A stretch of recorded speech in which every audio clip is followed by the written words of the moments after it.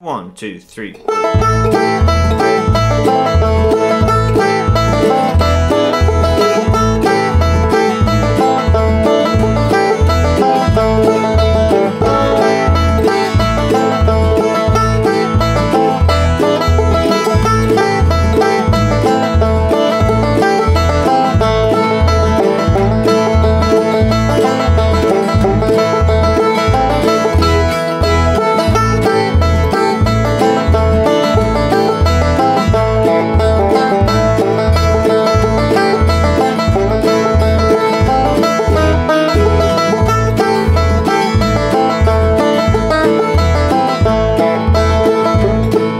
Hey everyone out there in Banjo Land, Mike Hedding here, coming to you today with the tune Clinch Mountain Backstep. This is a classic banjo tune made famous by Dr. Ralph Stanley. I really love this song because it sounds great played fast or slow, and it's got a lot of kind of bluesy sounding licks over some major sounding chords, which gives it a really kind of unique feel. So I'm going to break the whole tune down note for note and then show you some of my backup stuff that I would do on this tune. So here's Clinch Mountain Backstep. Alright, so I've got my capo on the second fret. I've got my, my fifth string railroad spiked up to, so tuned it up to A. That's important. If you don't have those railroad spikes, you're going to have to tune your fifth string all the way up, you know, a whole step to A. So be careful. Don't, don't tune it too quick. Um, but these railroad spikes are a good option, or you can get a fifth string capo. That's another option. But this tune is usually played out of the key of A, so I'm gonna I'm gonna capo up for this lesson and play it out of that position. But just know if you don't have a capo or you don't have the railroad spikes or you're just too lazy, you can also just play it out of the key of G and just you know you just move everything down down two frets, you know, and you just have the capo off. Okay. So the first thing I want to do is is work on the two positions that we're gonna do because the most important thing about this song is using the right fingers. If you use the right fingers, it'll make the song a lot, a lot easier. If you if you get tripped up in using different fingers, it's going to make the song a lot harder than it needs to be. So first thing I want to do is we're going to start with our, our first finger, our index finger of our left hand. We're going to put it on the first fret of the second string. So in this case, it's a D note. So we're going to work on sliding that up two frets. So that's going to be our two positions we're going to work out of basically up here, you know, so up here and then back down to here. So you can add the other fingers, it'll make sense, but the first thing you can just do with one finger. So you just want to get used to that, you know, how far is that distance? So if you can get kind of used to that, that'll make the song a lot easier, okay? So we're actually going to start up in the higher position of the two. So I'm going to start with my first finger on the third fret of the second string, and I'm gonna. This is our pickup. We're gonna hit the the fifth string of our th with our thumb, and then hit the third or the second string. Excuse me, I can't talk.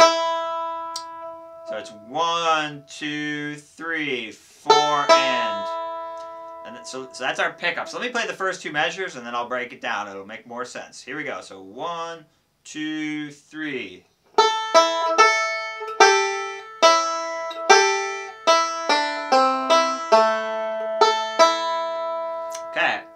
So we'll start with that pickup, thumb index with our right hand.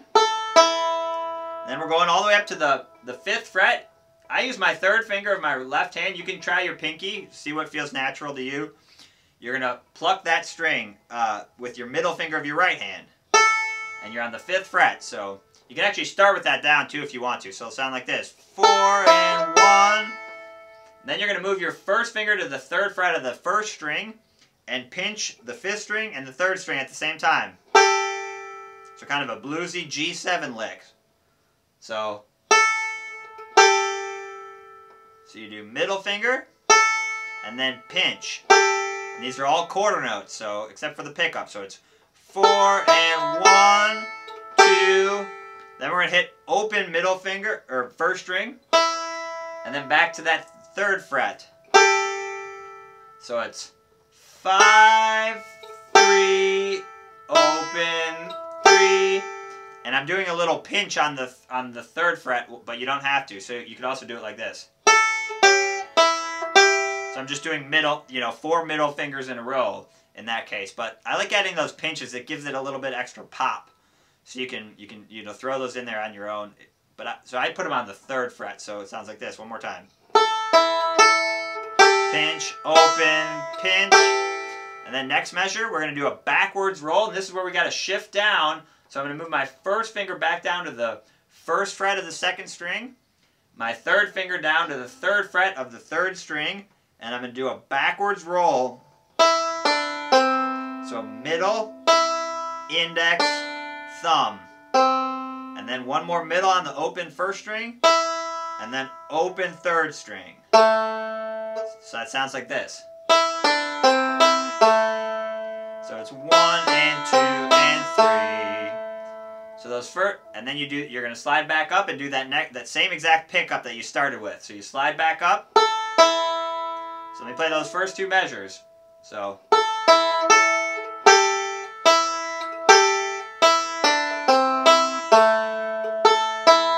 the third beat of the second measure is a quarter note. So that'll give you a little bit of time to get back up there. So it sounds like this. One and two and three, four and so you do have a little bit of time there. So don't rush too much.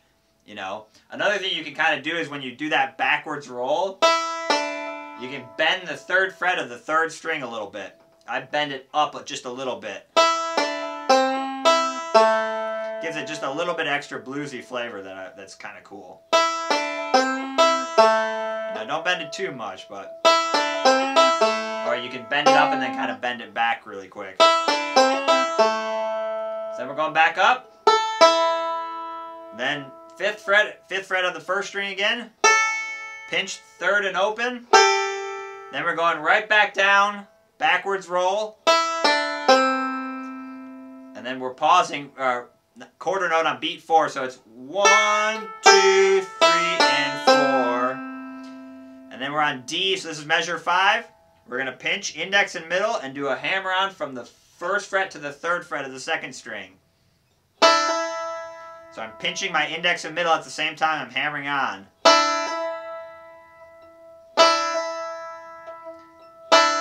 And then I'm bringing my thumb of my right hand down and I, am doing that hammer on again. And then I'm with my right hand, I'm doing thumb, middle, and then I'm going up to the fifth string. Uh, thumb, index, middle, thumb. And I'm keeping that third fret of the second string down. So that whole measure, measure five, sounds like this. Is a cool lick. One more time. It's very similar to if you've played Foggy Mountain Breakdown. It's, it's, it's kind of a variation on that, the Foggy Mountain Breakdown lick. Instead of a 2 to 3 hammer on, you know, making it a 1 to 3 to give it a little bit of bluesier sound. So one more time. Don't let that first hammer on throw you off, you know, follow the right hand. So if you if you do just the right hand, it's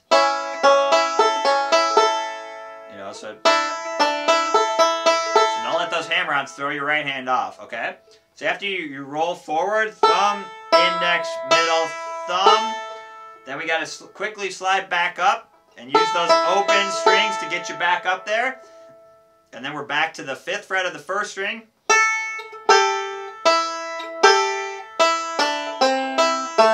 So that part's all the same as measure one and two, same exact lick pinch, open, pinch, backwards roll,